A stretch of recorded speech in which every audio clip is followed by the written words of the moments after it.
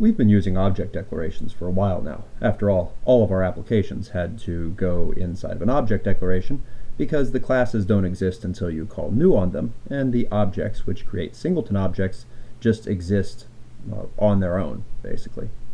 And we've also referred to companion objects, which we've said are object declarations that have the same name as a class. So we made a class called vec2d, we made an object called vec2d. Now in this case all we put inside of it was main just so that we could do a little testing and see what it looked like. But there's actually a really good reason why we have companion objects and companion objects are used quite frequently inside of Scala. And they're used for a number of, of different things. The first thing you can do is anything that would be associated with this class but where every instance of the class doesn't need a copy of it would go inside of the companion object. if you had some type of, of data that was that was being used that was associated with the vec2ds in general, but it can also be for certain methods. Um, one advantage of the companion object as to say some just random singleton object is the companion object actually has the ability to see the private members of its associated class. And the class has the ability to see the private members of the companion object. So giving them the same name actually does give you some capability. Now, we've seen some usage of companion objects in the libraries. For example, list one, two, three. We saw this before. We saw it in the situation where we are talking about the apply method, and we said that that was actually short for, for this, where really this is invoking the apply method and passing it those arguments. Well, the apply method is actually located in the companion object to list. So there is a list class and there is a list companion object. And this, this apply method is in the companion object. And what you're seeing here is a pattern that's used commonly in Scala, which is that the apply method on the companion object is frequently used to give you the ability to construct new objects. So you can call new on things like we did right here, but you might have noticed there are lots of times in Scala where you create things and you don't call new. And the reason you don't have to is because they have given you an apply method. So we can make an apply method here that takes an x and a y, and it winds up being just a new vec2d of x and y. Now what does that allow us to do? Well, it means that we can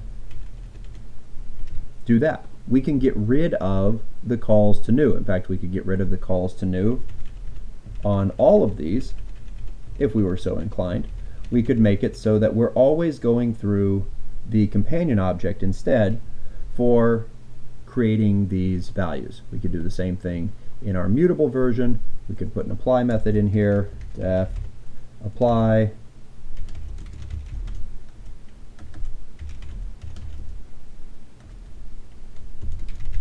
So x is a double, y is a double. It's a new mutable vec2d of x comma y. And then we wouldn't need these other calls to new. We can just create them by invoking the apply method on the companion object. So what's the real benefit of this? Well, the real benefit comes when we want to have multiple ways of constructing our object and we potentially want to limit the ability to pass in this information directly. Now it turns out that in this situation, you know, we don't really care what x and y are, so it doesn't matter if any code calls this. But if those needed to be constructed in some specific way, you know, maybe the IDs on our customer or the IDs on our account, right now we have no control over how these things are created. But we could gain some control over it by putting you know, something in, we could have an apply method down here. And then there's one other step that we would need to do. So let's go ahead and let's make an apply that we can use to create an account from here. So we're going to, we need to pass in a customer and an ID. Actually, the idea here is I'm going to take this apply and I'm not going to pass in an ID. The idea here would be that I want to go from the bank. Here we had this next account number. I would wind up getting rid of the next account number there. I would make it so that the account object handled the next account number. Now, doing that is going to break a few things here, but we can fix them. So we'll set up our next account number there, and the reason that this winds up breaking is because we have this line, which we would then move over, and now we're going to use the apply method to construct an account that way. So here we will increment that and we will return a new account of C comma next account number dot to string. Now, okay, I can almost hear viewers saying, but, but I didn't really change anything because we could still call this and this is just doing the same thing. You are correct. But by making it so the apply calls it, we can actually make it so that this constructor here is private. And the way we do that syntactically is before the argument list, I'm going to put the keyword private. What that does is now if the bank tries to make an account directly, so if I tried to go new account and just to make this compile, I'll put in a null, this is now an error because the constructor cannot be accessed. By making it private, we have made it so that the only things that can create a new account are either the companion object or the account itself. Okay? And so we've gained yet another level of control. The other reason why we would do this is the ability to have, we could have multiple apply methods. It turns out you can have multiple constructors. You can, if you def a method that's called this and you pass it arguments, it wind, it has to wind up calling this constructor, so this isn't something that we do all that often. A better way, if you want to have multiple ways to construct things, is to use the companion object and have an apply method.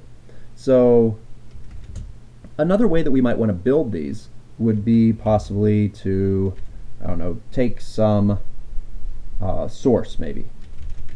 Actually, let's call it uh, lines is an iterator of string. The idea here is that I'm reading this from some input file. And then this version would contain code that would go through and read strings off of this iterator and use that information to build an account. And so then, this would be, for example, we have the ability to save things off and then read them back in. So then we have two versions of apply, and the handy thing here is that this version potentially does more work. That's the real benefit of having these apply methods, is if you want to do some significant work to calculate whatever the arguments that you pass in are, having it in the apply method makes sure that that work happens and it's always done in the correct way.